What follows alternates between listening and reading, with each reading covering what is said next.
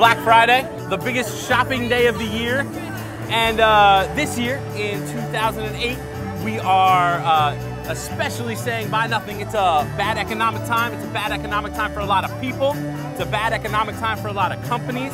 Today, we need to celebrate really what the true spirit of the holiday season should be. Spending time with our families, huddling together around a fire, giving hugs and kisses and other things that are free.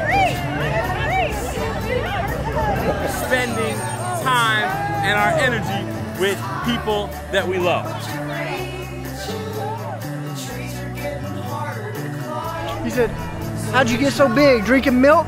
I'm like, yeah, I'm eating lots of vegetables. great. group of new anti-heroes, got some new singers, got the, the Buy Nothing Day choir over here. I mean, what more could you ask? And it's all free, free. Happy Buy Nothing Day, y'all! Those companies don't need any more of our money anyway. Let's take care of each other. The economy's collapsing, but life is good. We'll take care of each other. Happy Buy Nothing Day. We don't need to buy anything.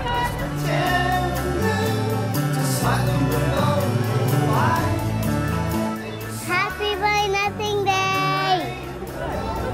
Feeling good knowing that I haven't contributed to someone else's oppression.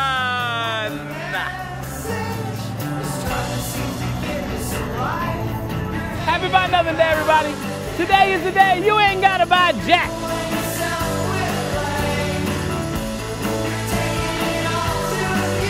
Ready? Go happy. Buy nothing day. Oh.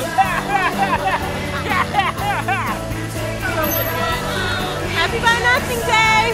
I'm not gonna buy anything today.